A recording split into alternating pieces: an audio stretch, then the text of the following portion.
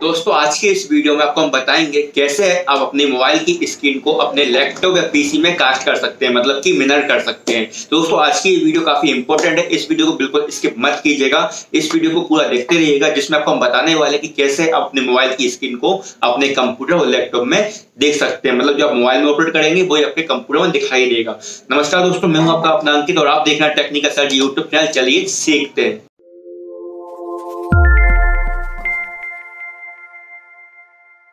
दोस्तों, आज आपको हम बताने वाले हैं आप मोबाइल की डिस्प्ले को विंडो 10 में कैसे कास्ट कर सकते हैं। तो आज की इस वीडियो को पूरा देखते रहिएगा। आज आपको हम बताएँगे लैपटॉप में अपने मोबाइल की जो डिस्प्ले चल रही है, इसको आप कैसे लैपटॉप में ला सकते हैं। चलिए सीखते हैं। सबसे पहले दोस्तों, ध्यान दीजिएगा विंडो टेन है, आप देख सकते हैं, विंडो टेन है और ये लैपटॉप है मेरा।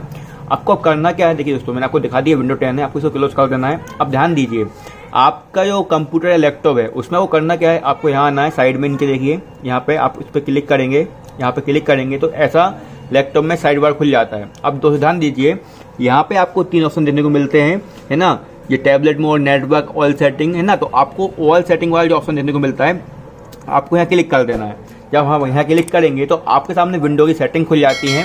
और ध्यान दीजिए दोस्तों, यहाँ आपके सामने एक ऑप्शन देखने को मिलता है डिस्प्ले ये सिस्टम इस पर लिखा होता है डिस्प्ले साउंड नोटिफिकेशन पावर और यहाँ डिवाइस तो आपके लिए दोस्तों पहले डिवाइस वाले ऑप्शन पे क्लिक करना होता है, यहाँ पे क्लिक कर दीजिएगा, और यहाँ पे आपको करना क्या होता है, जो आपकी ब्लूटूथ है, इस ब्लूटूथ को आपको ऑन रखना है, बंद नहीं रखना है, इसको चालू कर दीजिएगा, उसके बाद आपको बैक आना है बैक आने के बाद आप सिर्फ़ सिंपल ये सिस्टम जो दिख रहा है, आपको यहाँ पे क्लिक करना होता है, जब आप क्लिक कर देंगे, ध्यान दीजिए, यहाँ पे आपको सामने कई सारे ऐसे ऑप्शन देखने को मिलते हैं डिस्प्ले साउंड नोटिफिकेशन फोर्स है ना तो आप देखिए देख पा रहे होंगे यहाँ आपको नीचे ऑप्शन देखने को मिलता है प्रोजेक्शन है ना प्रोजेक्टिंग टू पीसी डिस पीसी आपको ये वाला ऑप्शन देखने को मिल रहा है, ये वाला देखिए।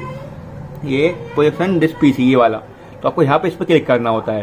जैसे आप क्लिक करेंगे दोस्तों ध्यान दीजिए, आपके सामने ऐसी विंडो खुल जाएगी। अब दोस्तों, ध्यान दीजिए, आपको यहाँ पे जो सेटिंग देखने को मिल रही है, इस पर always available every time a connect is required और यहाँ पे ऑफ़ और यहाँ पे ऑफ़ इन सेटिंगों को सेम आपको अपने कंप्यूटर में कर लेना, ध्यान दीजिए। है दोस्तों, आपने जो भी नेट पे देखा उसे भूल जाइए, जो बता रहा हूँ, उस पर आप क्लिक जो सेटिंग यहाँ पे क्लिक करके चेंज कर लीजिएगा। इस पर क्लिक करना आपको, और यहाँ पे ये सेकंड वाले पे। इसको क्लिक करने के बाद आपको कुछ भी नहीं करना होता है। इतना ध्यान देना आपको। आपके जो कंप्यूटर लैपटॉप या कंप्यूटर उसमें आपका ब्लूटूथ वाईफाई देख लीजिएगा ऑन होना चाहिए। जैसे कि अपन देख लेते हैं, ये वाईफाई भी ऑन है और आपका ब्लूटूथ भी ऑन है।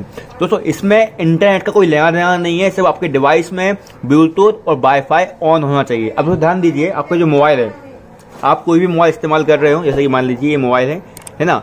जैसे कि ये मेरा एमआई का नोट फोर मोबाइल है। आप जो भी मोबाइल इस्तेमाल कर रहे हो, आप उसमें सिंपल जाइएगा सेटिंग में।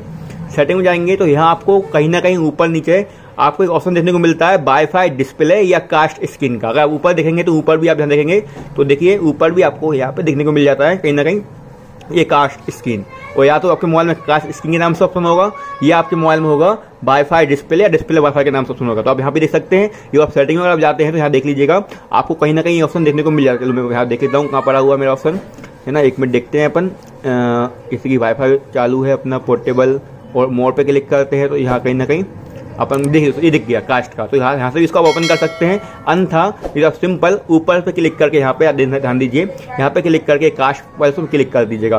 तो सर आपके क्लिक करेंगे तो आपके सामने ऐसा ऑप्शन आएगा, ध्यान दीजिएगा, जिसपे लिखा होगा turn on wifi and Bluetooth on your phone you to use wireless display तो आपको क्लिक कर देना है। टर्न ऑन पे क्लिक कर दीजिएगा। टर्न ऑन पे क्लिक करेंगे तो ध्यान दीजिएगा लैपटॉप में कुछ भी नहीं कर रहा हूँ। अब इस बार वेट कीजिएगा तो आपके मोबाइल में ऐसा आएगा। सेलेक्ट डिस डिवाइड कनेक्ट तो ध्यान इस लिखा है डेस्कटॉप नाम लिखा हुआ यहाँ भी आप देखेंगे तो यहाँ पे ये नाम लिखा आ रहा है। तो इसी कंप्यूटर के नाम लिखा रहा है। सिंपल कुछ भी नहीं करना है इस पर क्लिक कर देना, इस नाम पर क्लिक कर दीजिएगा। चलिए मैं क्लिक कर देता हूँ। एक मिनट ये ये मैंने क्लिक कर दिया। क्लिक करने के बाद ध्यान दीजिए, ये जो आपकी विंडो है, उसमें आएगा कनेक्ट टू ऐसा लिखा है अलाउ अंकित टू परसेंट मतलब जो आपके मोबाइल का नाम होगा ना वाईफाई का, वो यहाँ पर लिखा रहा होगा। सिंपल में इसको दोस्तों मोबाइल रख दिया, मैंने देखिए रख दिया है। और सिंपल को करना क्या है? इसको आपको एस पे क्लिक कर देना होता है। ये देखिए एस दिख रहा है आपको। आप यहाँ तक माउस वाला बटन है ना, ये माउस पे आपको इस पे एस पे क्लिक कर देना होता है। जब आप क्लिक करेंगे तो आपके साथ ध्यान दीजिए रखा हुआ है मोबाइल कुछ भी नहीं कर रहा हूँ मैं। कुछ सेकंड वेट कीजिएगा आप। अभी ऑटोमेटिक है ना, ये कनेक्ट हो रहा है आपका मोबाइल ध्यान दीजिए ये ऑटोमेटिक कनेक्ट हो रहा हूँ। ये देखिए दोस्तों ऑटोमेटिक चलेगा। थोड़ा सा वेट करेंगे अपन यहाँ पे। ये देखिए दोस्तों, ये आपकी मोबाइल की स्क्रीन आपके लैपटॉप में आ चुकी है। अगर अब आप चाहते हैं इसको ट्रेचर करना ट्रेचर करने के लिए सिंपल कुछ भी नहीं करना होता है। आपकी रोटेट सेटिंग देख लीजिएगा आपके मोबाइल की। रोटेट सेटिंग जो आपकी है तो वो ऑन होना चाहिए इसमें आ, अभी ऑन है। और सिंपल से मान लो आप कोई भी ऐसा कि एग्ज़ाम्पल मैं कुछ खोल लेता हूँ।